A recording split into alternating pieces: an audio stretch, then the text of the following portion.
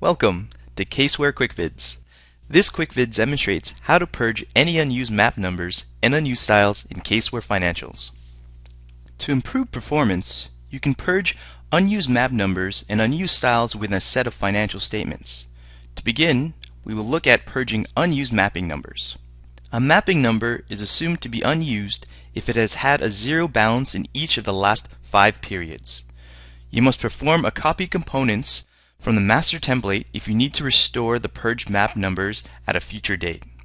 For information on performing a copy components, please see the Caseware Working Papers help. Before you purge mapping numbers, ensure that any unused mapping numbers are not of use in future years. Please note that I am using Financials IFRS for this demonstration with the IFRS demo file. Open the Financial Statements document. Then select the Content Management ribbon. Click Purge, which is in the rightmost button in the ribbon. The Purge Mapping dialog will appear. In the Purge Mapping dialog, select the mapping categories from which unused mapping numbers are to be removed. Then click OK.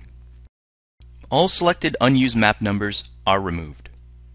Likewise, any unused styles can be purged. This is useful to clean up the style list and it can also improve performance of financial statements when working in a large file.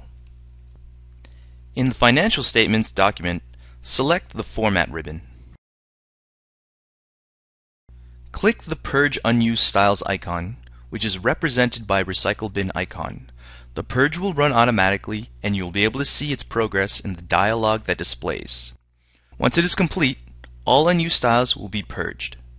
Note that if a purge style is later required, such as when a line in a table is changed to a title line, the missing style is automatically loaded from the style sheet file.